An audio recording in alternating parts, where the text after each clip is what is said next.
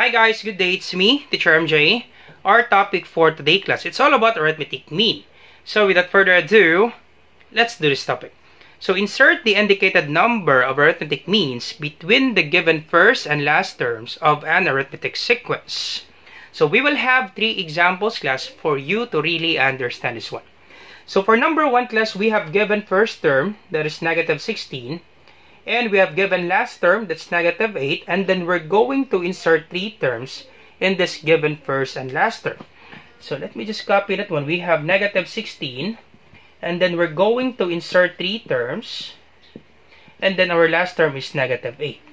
Now, if you have example like this class and you're told to find the three terms, okay, in this given first and last term, the thing that you will do class is you need to find the common difference for you to get this following terms.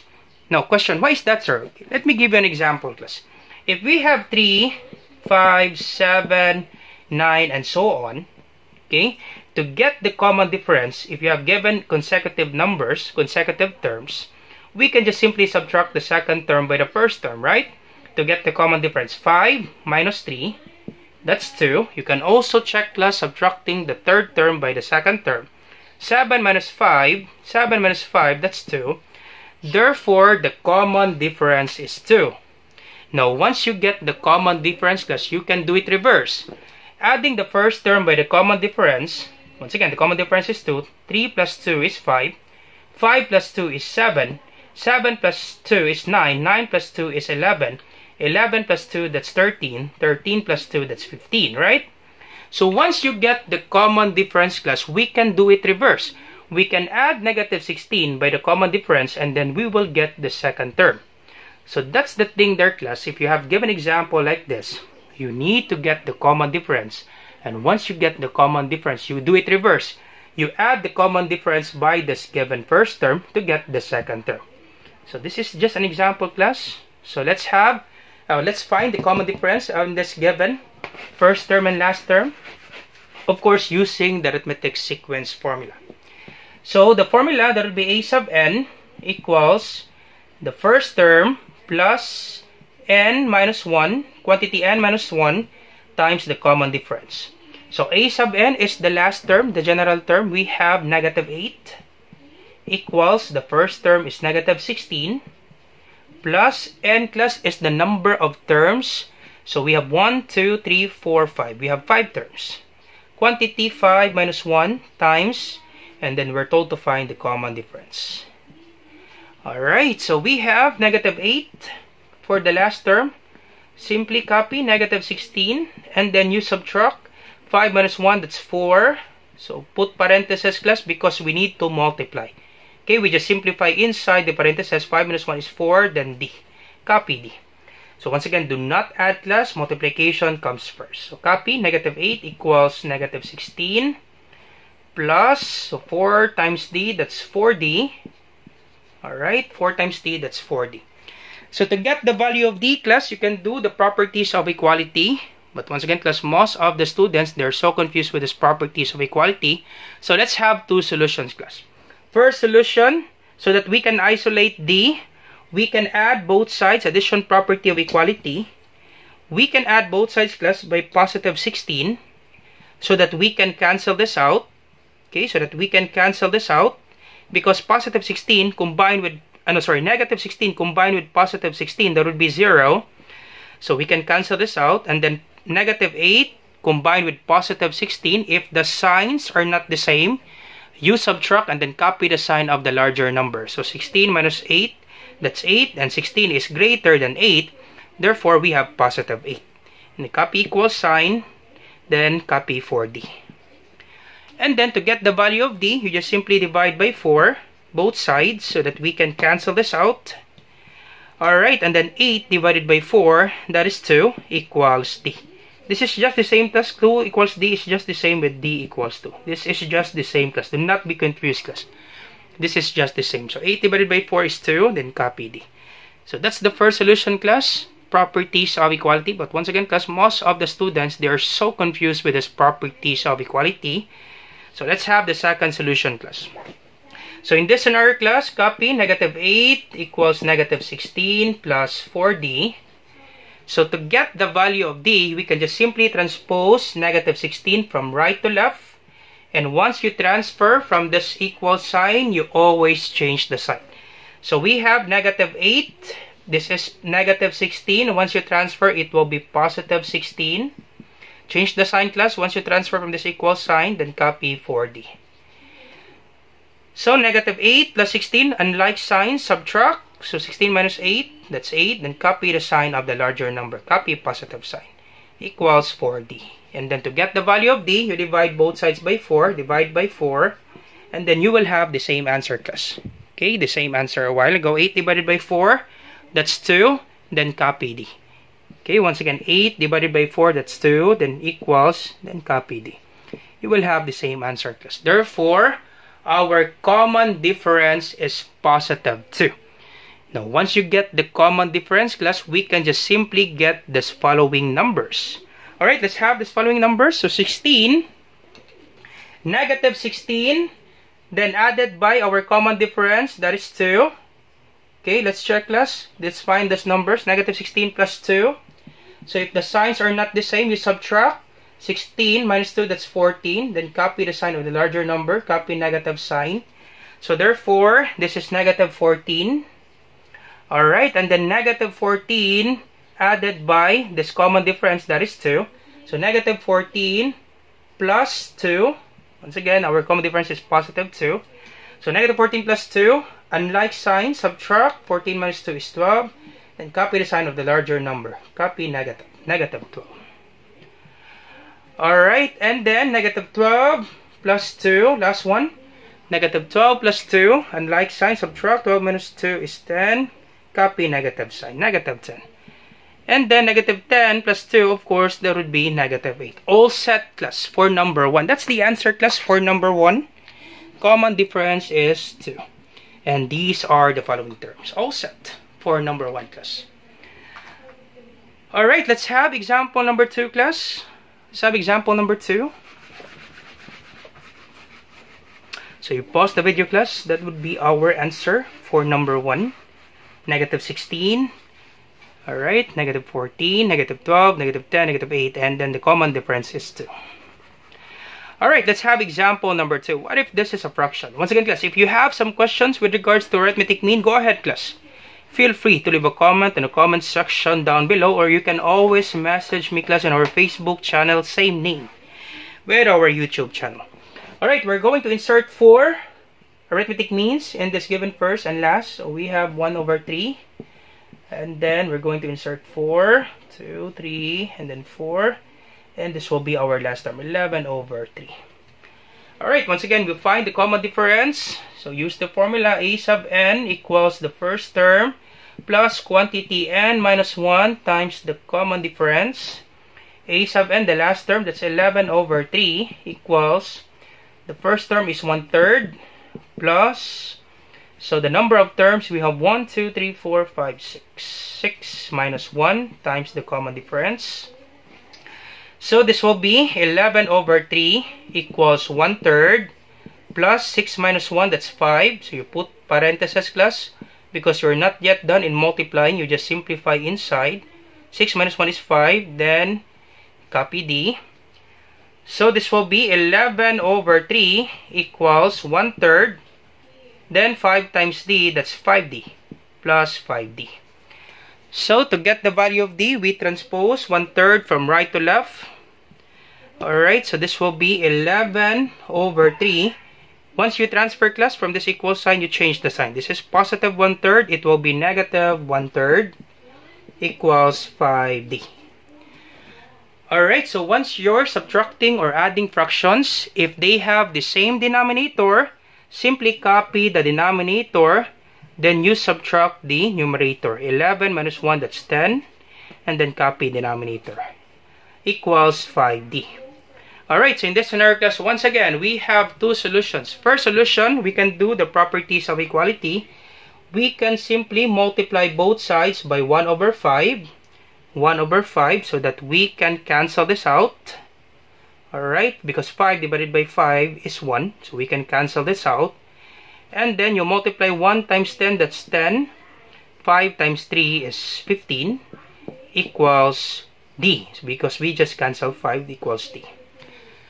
Alright, and then the second solution class. Let's have the second solution class because once again, they, they are so confused with these properties of equality. Now, what is the second solution, sir? So, 10 over 3 equals 5D. Alright, so in this scenario class, 10 over 3 equals 5D. So, second solution, understood that there's one here. You can do cross multiplication. So, you can cross multiply. Alright, so cross multiply. So we will have two solutions class for you to choose which do you prefer. So this will be 10 times 1, that's 10, equals 5d times 3, that would be 15d. Alright, and then to get the value of d, you divide both sides by 15, divide by 15. So this will be 10 over 15 equals d. You will have the same answer class. Okay, you will have the same answer. 10 over 15 equals D. Now question, Sir, do we need to reduce our answer to its lowest term? Yup, class, that's actually mandatory. Once your answer is a fraction, you always reduce the fraction to its lowest term. That's actually mandatory, class. So we can reduce 10 over 15 by 5. We can divide this one by 5. So 10. 10 divided by 5. Once again, class, the GCF, the greatest common factor of 10 and 15, that is 5. So 10 divided by 5, that's 2. 15 divided by 5, that's 3, equals D. So therefore, our common difference class is 2 thirds. Alright, that's the common difference. That would be 2 thirds. So once you get the common difference, we add this in this first term and then so on so that we can get this following terms. Alright, you pause the video class. I'll be erasing this one. Okay, once again, you pause the video. So let's find the second term, third term, fourth term, and the fifth term. Alright, so once again, let's add. So 1 over 3, 1 over 3 plus the common difference plus 2 thirds. So this will be 1 over 3 plus 2 thirds. Once again, same denominator, copy. Alright, and then you add the numerator 1 plus 2 is 3. So can we divide 3 divided by 3? Yup, 3 divided by 3, that is 1. Alright, so therefore, the second term is 1. Alright, and then 1 plus the common difference, 1 plus 2 thirds. Alright, so 1 plus 2 thirds class, we can write this 1 over, we have, once again class, we have two solutions first for 1 plus 2 thirds. This 1 class, we can write this one as 3 over 3 so that we will have the same denominator. 3 over 3 class is just the same with 1. 3 divided by 3 is 1. So plus 2 thirds so 3 plus 2 is 5. Then simply copy denominator. 5 over 3. So the third term, that's 5 over 3. Once again, class, if you're confused with this one, where did I get 3 over 3? Once again, 1 is just the same with 3 over 3. I need to have 3 over 3 class so that we will have the same denominator so, just, uh, so that I can just simply copy the denominator. Or, once again, if you're confused, 1, 1 plus 2 third but it will take time plus you can find the LCD, the least common denominator.